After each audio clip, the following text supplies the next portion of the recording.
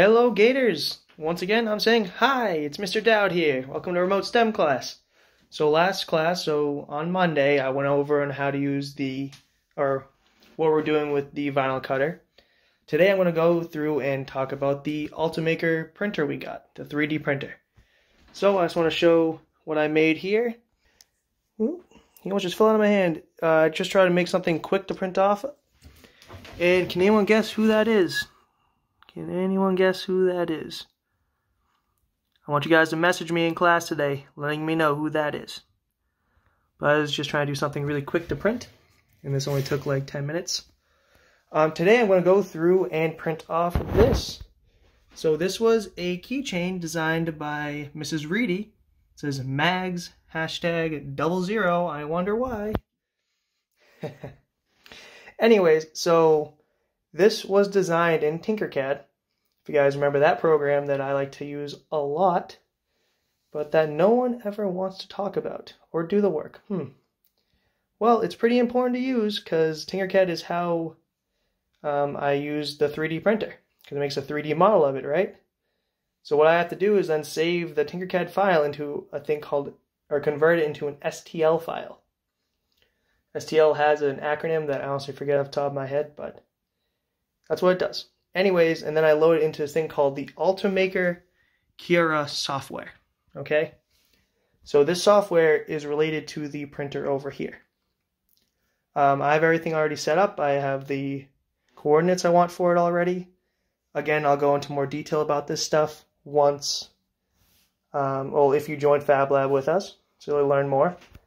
So as of right now, it's going to take 33 minutes to print. So I'm going to go ahead and print. So now the printer is heating up. I know some students last year saw me print off a couple things. So it's going to go ahead right now. It's preparing to print, so it's heating up the cores and whatnot. So yeah, so it's going to be printing off that keychain for Mrs. Reedy. So what this software does is, while that's heating up, I can talk about this. It, uh, you see how it changes here? I can change the infill. So what that means is how densely filled the plastic is. So if it did 100%, it would be a solid piece of plastic. However, it would take a significant amount uh, more time to print. Okay, so by keeping the fill low, it prints quicker. Also, when I click on it, I can go ahead and with this tool here, um, it changes the size of it. All right, but you always want to have uniform scaling. So if I change this to 10, it might screw up everything else so it wouldn't look as nice. Okay? But I think it's ready. It's gone. It's practicing the leveling now. Why do you think you need a good level when you're printing off? What do you think? Well, if it's not level, when you print off, it'll screw up, practically. It'll be all slanted and not look good. But it's, at the moment, leveling. Alright? So if you guys remember from using my printer, the this plate here, I always had to put glue on it. With this printer, I don't have to use glue because it's a heated plate. So that makes it so it adheses nicer.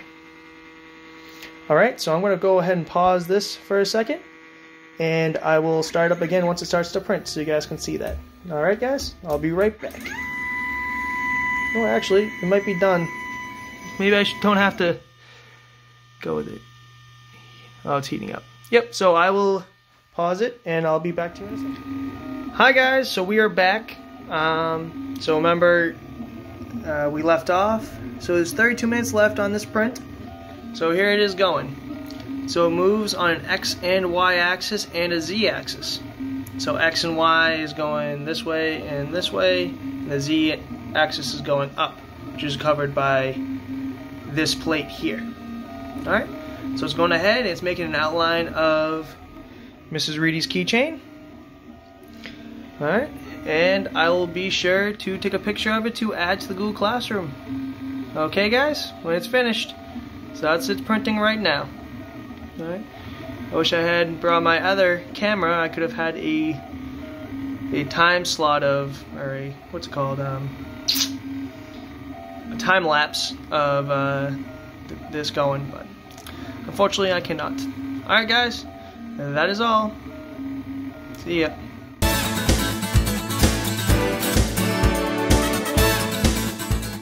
Hello, hello, hello.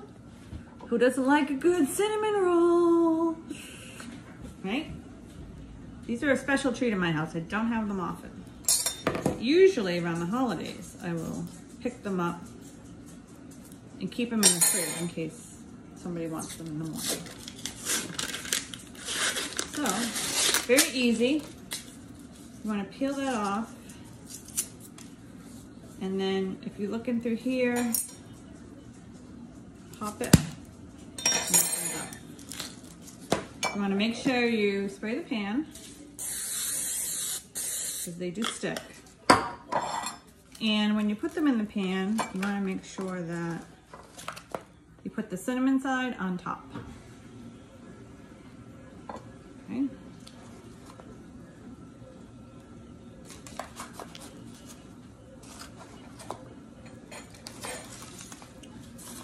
I usually put them in a round pan, but I could not find my round pan. So they cook for about 10 minutes or so in the oven on 400 degrees. Okay. You'll be able to smell them. They make the whole house smell, which is awesome. But So they look like this, and when they come out of the oven, they're gonna be big and plump, and we can frost, put frosting on them. Okay, so I will see you when they're done. Okay, so they are done. Came out like that. Can you smell them? Maybe when I put the frosting on, you can smell them. So this is the frosting. And as you put it on, it melts. These are like so bad. They're like loaded with sugar, but they're obviously something that's a special treat now and then, which is okay. That's why I do them a lot of times on holidays. Do not buy them all the time, and they don't really fill you up. So. For breakfast. Okay, so here they are with the cinnamon frosting icing on your cinnamon roll. How do you know if they're done? Because you can't stick a fork in it. I usually lift up the bottom and see that it's brown. That's what I. And while they're sitting in this pan, they still cook because the pan's still hot, or the, yeah, the glass pan. So I just leave it on like this and they're cool. And I have it sitting on this so it doesn't wreck the counter. Okay, so that's it. Easy peasy. I'm sure you've had them before. If not, give them a try. Bye.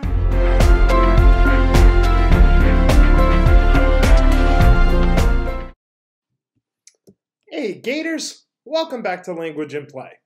All right, so today we're going to play a game. All right, we are going to play Animal Environments. What I'm going to do is I am going to put four different images on the screen. All right, each environment will create a unique set of circumstances for your individual animal character. How would your animal character feel in each environment? How would they move? You're going to get up, you're going to move around the room, you're actually going to feel some of these things. Okay? Environment number one the jungle. I want you to look around. I want you to feel what it's like to be in the jungle. Is your animal used to being in the jungle? Or are you not used to being in the jungle? For me, I'm Wally the Walrus. I don't like being in the jungle. This is completely out of my comfort zone, so as I'm walking, I'm walking a little bit scared. New environment. Our next environment is going to be the North Pole. Finally, I'm home. Oh, it feels so good to just lie down here in the ice and swim. Oh, this is wonderful. Notice the tone of my voice. Everything about my character has changed. I've become a lot happier. I'm in a very comfortable environment. Okay? Next environment a volcano. this is a terrifying environment. Oh my goodness, I'm so scared. I don't know what to do. I don't know where to go, but I can't walk. Every time I step down, my feet are burning. My little flippers are flapping in the burning waves of lava. Oh no! And our last environment. In this environment, you're in a New York City street. How does your character feel around humans? How does your character feel in a populated setting?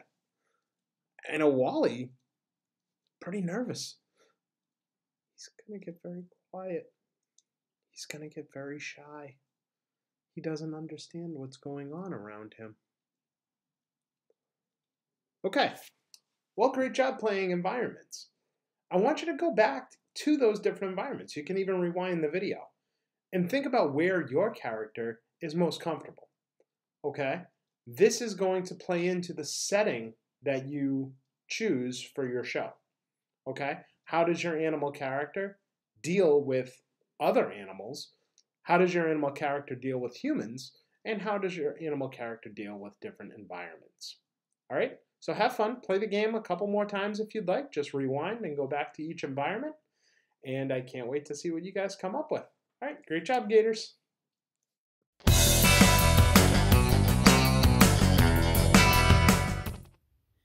Hi guys. Today we're going to continue on with our focus on architecture. Architecture can be a career in art because architects are artists who design buildings. Today we're going to look at some ancient Roman architecture. This building is the Colosseum and it's in Rome. If you look closely at the Colosseum, you may notice that some of it's missing. This Colosseum was built many, many, many years ago, and over time, it has been destroyed by things like earthquakes and just neglect and people not really taking care of it. And it started crumbling on this side. What I'd like you to focus on here, in the Roman architecture, you may notice these curved arches, these round curved arches. That is a feature of Roman art that you would often see, that curved arch. If you recall looking at the Notre Dame of um, Cathedral of Notre Dame, you will remember that there are those pointed arches down at the bottom. So that's something that was featured in the French Gothic style. Pointed arches. But now we're moving on to the Roman architecture, where you see these curved arches. Okay, so yes, you guessed it right. We're going to draw the Colosseum. You're going to need a piece of paper and a pencil. Okay, we'll keep that Colosseum image available to us. You always want to have a picture reference nearby. It's very helpful. There. So I'm just going to start off by looking at the shapes that I see. I'm going to draw it as it is and with the destruction here and all. So I'm looking at the shape that I see. This shape here is an elliptical shape. So the structure of the building itself is round. The Colosseum was built as an amphitheater. So people would go there to be entertained and watch sporting events and other kinds of things. The building was created in a way that all the visitors would have a good visual position or they would have good visibility of whatever the activity was taking place, any of the events that were happening. So we're going to start drawing an ellipse. So you're just going to be drawing something like this. The shape of the building was kind of a roundish oval type shape. Okay, so that's just the top. I'm imagining that the whole thing is there. Eventually, I'm going to be erasing the area on this right side, but I just want to start with my full ellipse drawing. So the Colosseum was built out of concrete, and at that time it was something that was used quite a bit to build structures. Now, oops, I want to focus in on the rows that I see. So there's a first floor, second floor, there was a third, and then just kind of a wall at the top. So I'm just going to create some lines to show where those different floors are.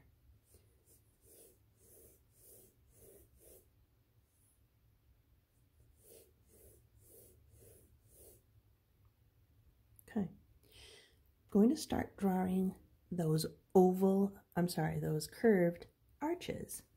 So in the center of the building, I'm going to draw them kind of large. And as I go to the edges of the structure, I'm going to make them a little bit narrower. And that will give it the illusion of having that elliptical kind of round shape.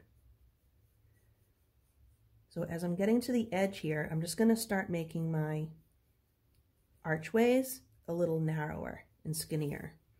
And that will help to give it that illusion of being on a curved formed building.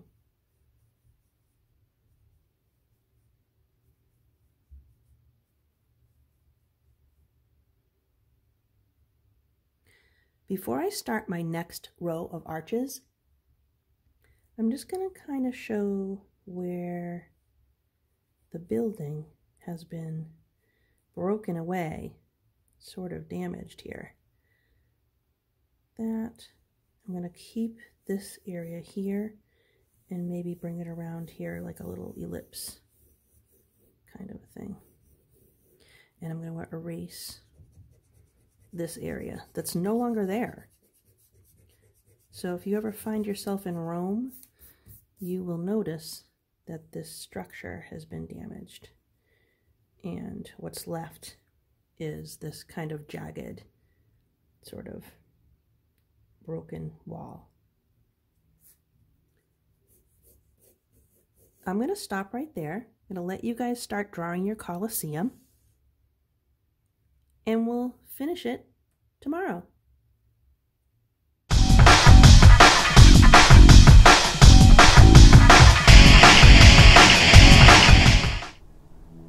Hey guys, welcome back to another episode of Virtual PE. I'm Miss Sweetie. Alright, today's another stretch day. We're going to do our lower body, so here we go. I'm going to grab our leg and pull. For those that are having a hard time balance, you can hold your nose, your ear, touch your belly button or grab onto something.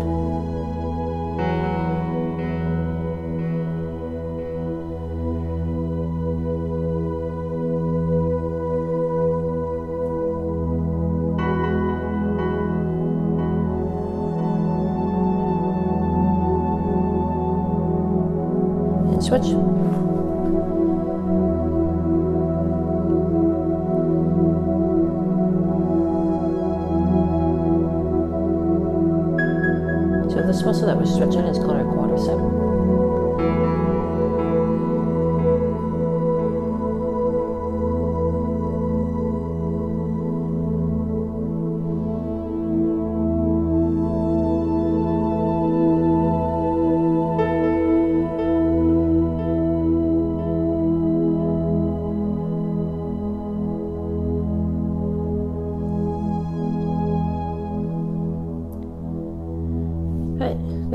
Going to stretch our groin, so we're going to lunge one side and keep this foot flat on the ground and the leg straight.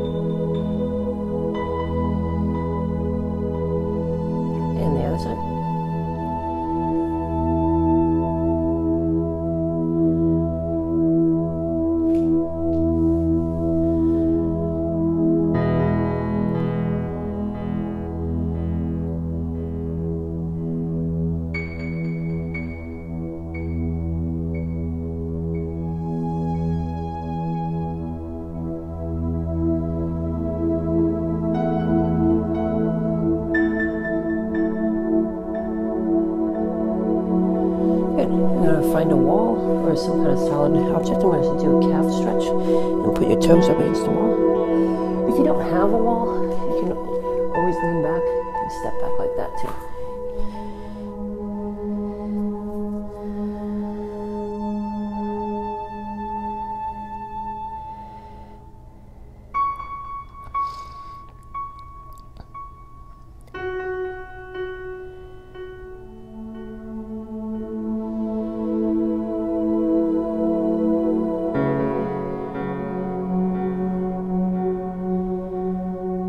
Switch.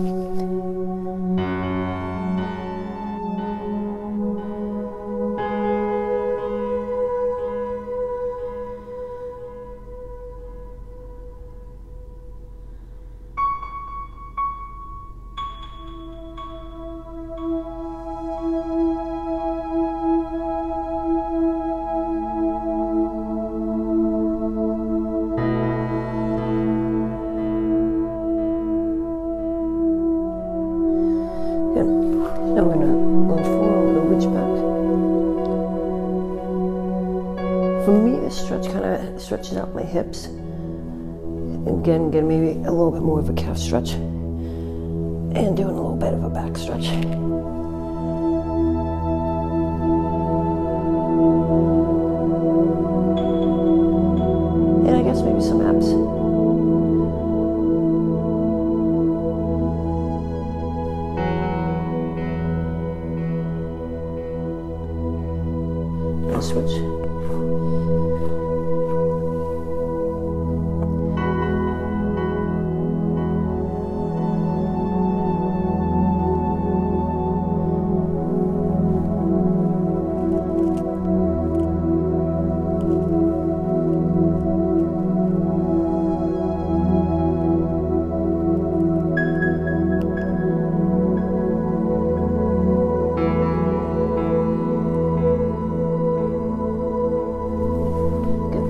Together. We're going to touch our toes. We're going to do a hamstring stretch, which is the one the muscle in the back of your leg.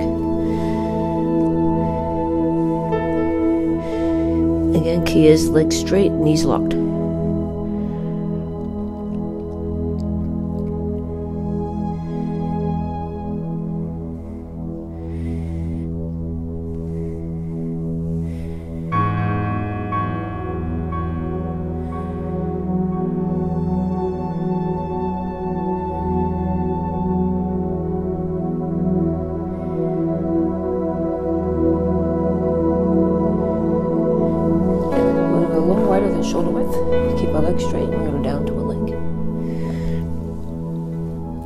Again, keeping our legs straight, knee locked.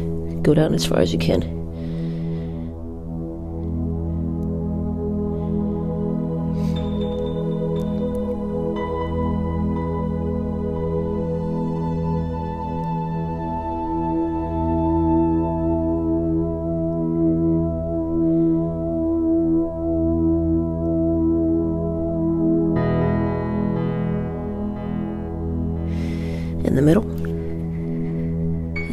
Back with your hands.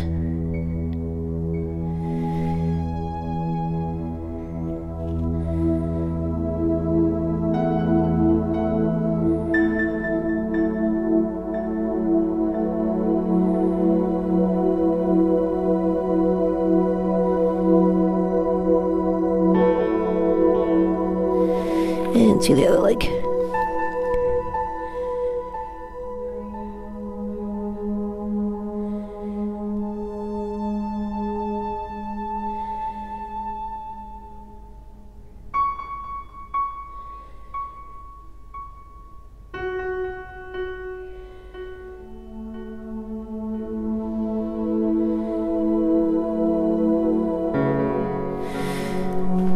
Stretch, we're just gonna grab our knee. If you need a chair, sit on your bed or lean against the wall, you can do that. Just grab your knee and pull it.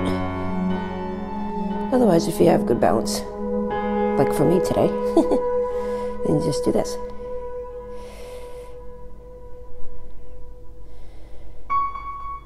Oh, spoke too soon.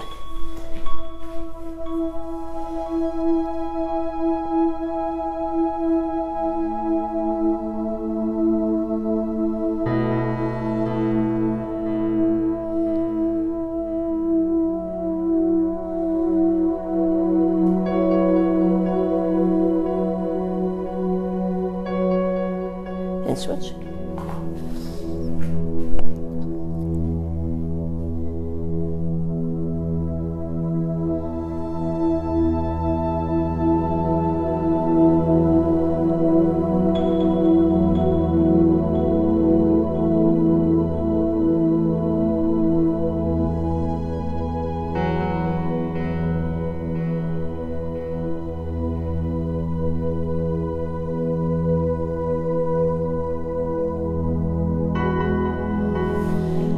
Guys, have a great one.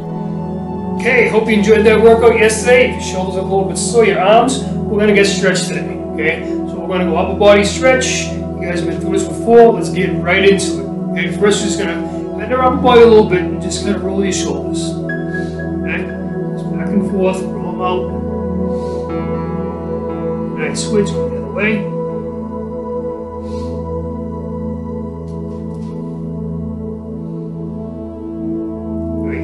Okay, let's put your right arm across your body. Remember, we'll hold each stretch for 10 to 15 seconds.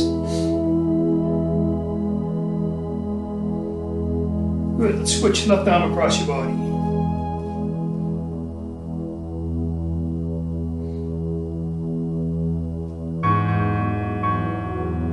Good. Let's put your hands above your head now. Let's just stretch side to side. Let's lean.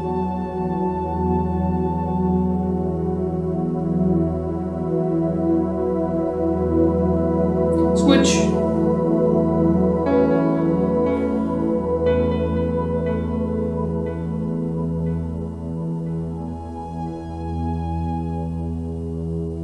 Very good. Right hand behind your head. Just gotta lean back.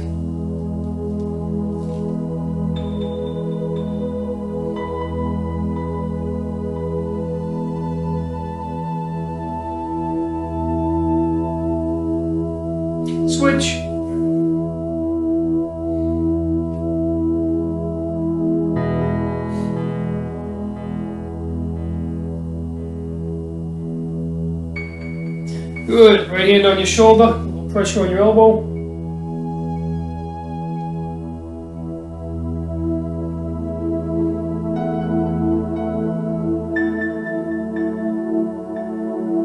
All right, let's go left hand on the shoulder. Let's pressure on that elbow.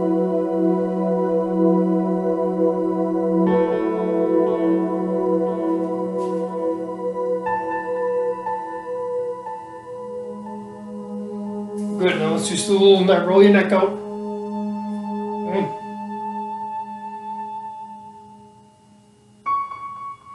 Let's get a little pressure on the side and hold. Not too much.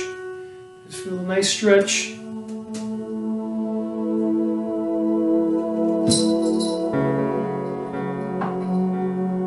Switch.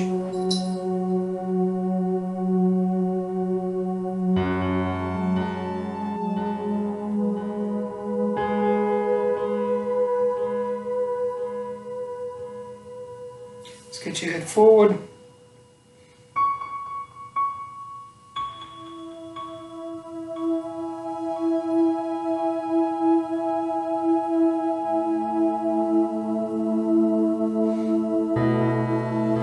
And finally, let me turn to the side, get those arms back there, get that arm stretch.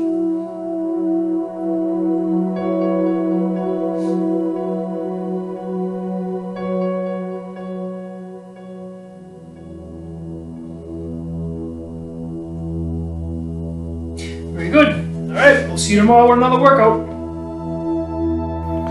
Thanks for watching Enrichment TV, Gators. Remember, work hard, be nice, and we'll see you tomorrow.